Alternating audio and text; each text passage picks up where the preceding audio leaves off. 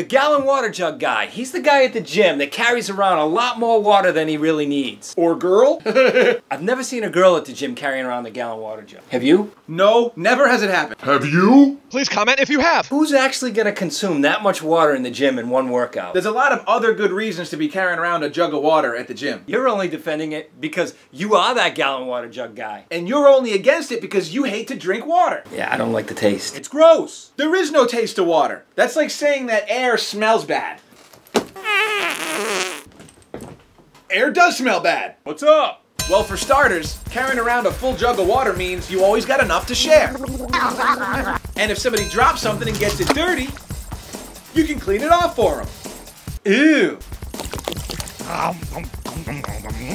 I've had worse. You can water the decorative plants. You should be at the gym to work yourself out, not to do the work of the gym maintenance crew. I'm sure having an excess of water could help assist in a wide variety of emergencies that could happen in the gym. Push, push, push, push, Okay, I see your point. I knew you'd come around. After this conversation, I'm a lot less annoyed at those gallon water jug people at the gym. There's no reason to be irritated with whatever anyone wants to bring into the gym that's going to help them get a better workout. Because when you're in the gym, you should be concentrating on one thing yourself. Still don't like the taste of water. It's gross.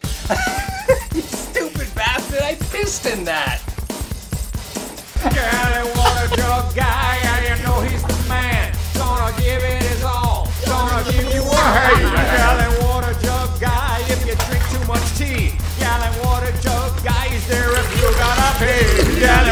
tea.